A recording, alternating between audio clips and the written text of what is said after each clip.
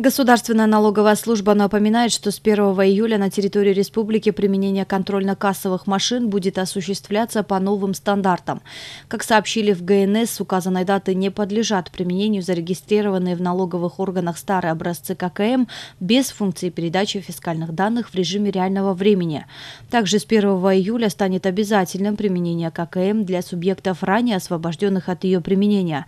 Кроме того, будут обязаны применять контрольно-кассовые машины соответственно соответствующие новым техническим требованиям, субъекты, осуществляющие деятельность на основе добровольного патента на территории городов Бишкек и Ош и занятые реализацией товаров в стационарных точках торговли с торговой площадью более 200 квадратных метров, реализация лекарственных средств в аптеках, оказывающие услуги общественного питания с количеством посадочных мест более 200 и с площадью свыше 300 квадратных метров, медицинские услуги в стационарных помещениях, а также услуги медицинских лабораторий. В случаях использования ККМ, не соответствующих новым стандартам, такие аппараты будут сниматься с регистрации в АИС ГНС, а сами субъекты привлечены к административному штрафу.